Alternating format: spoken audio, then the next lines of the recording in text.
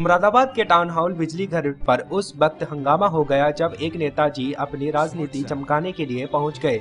जी हाँ नेताजी अपनी राजनीति को चमकाने के लिए बिजली घर पर हंगामा करने पहुँच गए जिसके कारण जेई राकेश कुमार ने कोतवाली में मुकदमा दर्ज कराने के लिए तहरीर देनी पड़ी।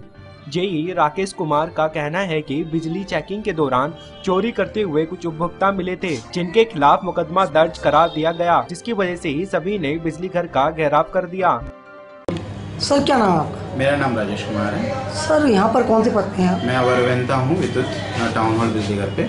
सर, अभी यहाँ पर हंगामा हो रहा था, कुछ नेता हंगामा कर रहे थे। किस वजह से हंगामा कर रहे थे सुबह मॉर्निंग रेड में शासी वेंता महोदय के आदेशानुसार चेकिंग की गई थी, जिसमें पूरी टीम थी दो जे थे नए स्टाफ था। उसमें जो चोरियाँ पकड़ी गई थी, वो कंज्यूमर्स थे, जो सात आठ हैं, उनको वो वहाँ का जो लोकल नेता हैं, वो सब इकट्ठा करके पूरी पब्लिक को बुला के ले आए थे कि हंगामा कटवा रहे थे कि चोरी पकड़ी गई है। तो उसी का होता है सर किस किस लोगों की चोरी पकड़ी गई? क्या क्या नाम तो? बहुत हैं जो मैंने अभी मेरे सामने आ रहे हैं। खैरुल निशा हैं मंजर अकील मोहम्मद इस्लाम सरदार हुसैन इत्यादि हैं। क्या कार्रवाई की जाएगी?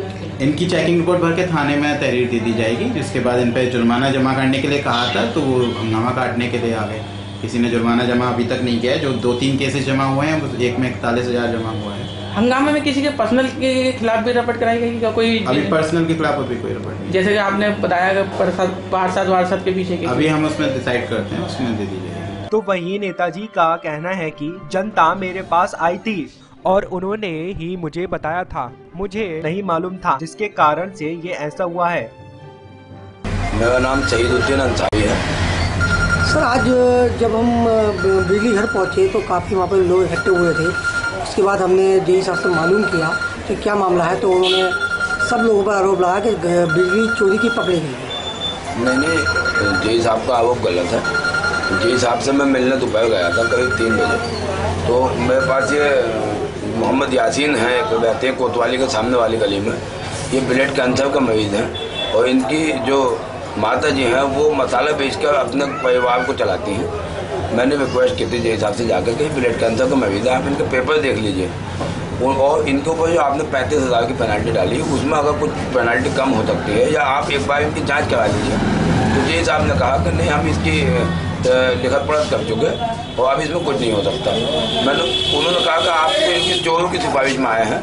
ये तो सभी बिजली चोर हैं तो मैंने उनसे कहा जी हिसाब से कि सब लोग बिजली चोर नहीं हैं, आप सब पे आरोप मत लगाइए।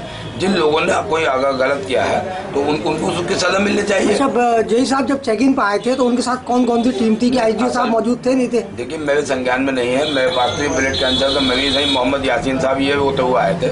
और मैं इनको विधायक जी हाजी कलाम कुवैजी साहब के पास भी ले गया था। तो मैं इनके साथ गया था और सात लोग जिनके खिलाफ इन्होंने मतलब बिजली एफ़ आई आर कराई है उन वो उन सातों लोगों को मैं लेकर गया था कि इनको ये बता दिया जाए कि इनको ऊपर क्या आरोप है और इनको कितने पैसे जमा करने हैं क्योंकि उनके संज्ञान में था हमें क्या जमा करना है? नहीं मैं सिर्फ़ ये पूछना चाह रहा हूँ कि जेई साहब जब चेकिंग पर आए थे जब लोगों ने वो असल में सुबह क्योंकि कानून एक कानून आया है। सुबह चार बजे के टाइम पे जय साहब आए थे उस वक्त सब लोग सोए हुए थे बस्ती में कोई भी जागा हुआ नहीं था तो सुबह को लोगों ने मालूम करने के लिए गए थे मैं उनके साथ गया था। हमने कहा हमें बता दिया जाए हमें शमन शुल्क कितना जमा करना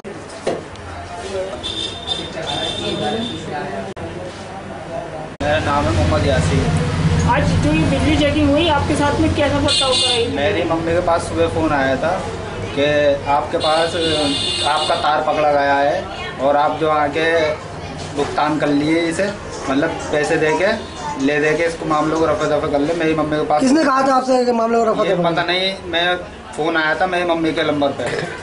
और जब मैं मुझे ये बात पता चली तो मेरी मम्मी भी चक्कर खा के गिर पड़ी। और मुझे भी सुबह से सिर में दर्द हो रहा था मेरे तो मेरे भी सिर में दर्द होने लगा सुबह से। क्या बीमारी है? आपको क्या बीमारी है? ब्लड कैंसर है। और कौन से डॉक्टर का इलाज मैं मार्शल भाई को साथ में लेकर गया था बिजली घर। तो बिजली घर जब जिस वक्त ले गया इस बात के नहीं कि मेरा मैटर क्या है। तो खंभे मेरा घर जो है खंभे से मिला हुआ है। खंभे पे तो हजारी तार जा रहे हैं। वो सारे तार क्या मेरे घर में को जा रहे हैं? क्या मालूम किस किस के कौन कौन से तारे जा रहे हैं। बिजली घर से लोग आते हैं, सीढ़ी भी नहीं लेकर आते हैं, घर में घुस जाते हैं। बस ये कहते हैं कि हमें तार जोड़ना है। अब हज़ार पाँच सौ रुपये लेकर तार जोड़ के वो चले जाते हैं। अब क्या मालूम किसका तार जोड़ के जा रहे हैं, किसका